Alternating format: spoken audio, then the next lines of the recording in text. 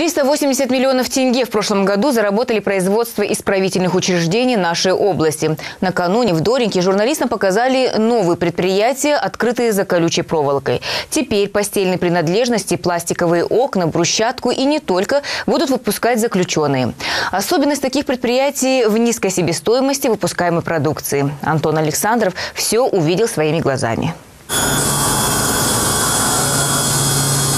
Артем Забара – начинающий предприниматель. Правда, построить свой бизнес он решил, находясь за колючей проволокой. Накопленный до осуждения опыт работы помог выбрать направление деятельности. Раньше он трудился на различных мебельных фирмах. Теперь организовал свой цех по производству корпусной мебели.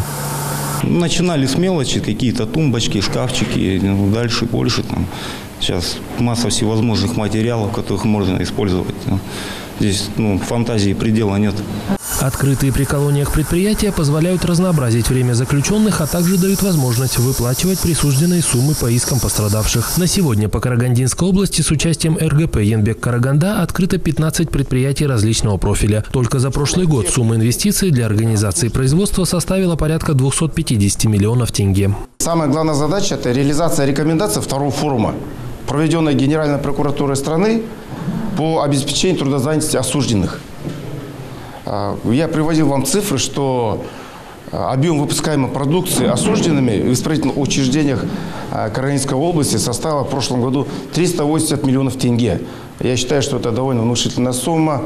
Только в исправительных учреждениях Шахтинского региона выпускают большое количество форменной и спецодежды для местных промышленных предприятий. В этом году, к примеру, в Шахтинск теплоэнерго заключен договор на 10 миллионов тенге. Также за колючей проволокой имеется и цех по изготовлению металлоконструкций, которые после украшают улицы городов Карагандинской области. Кстати, товары, изготавливаемые в исправительных учреждениях, имеют низкую себестоимость, что и позволяет легко конкурировать с другими фирмами. Здесь многие профессии приобретают, довольно-таки востребованные, хорошие профессии. Токаря, фрезеровщики, цех такой многопрофильный у нас. Токарный, фрезеровочный участок, ну, металлоконструкции собираем. То есть работаем по заказам. Совместно с местными колледжами организовали за колючей проволокой и курсы переподготовки по рабочим специальностям. Так на обособленных предприятиях оказываются квалифицированные кадры. В итоге перечень производимой продукции достаточно широк. От строительных материалов до инвентаря и продуктов питания. В общем, по области трудозанятости осужденных составляет 57,5%. Антон Александров, Дмитрий Оборок, Данил Заславский, Пятый канал.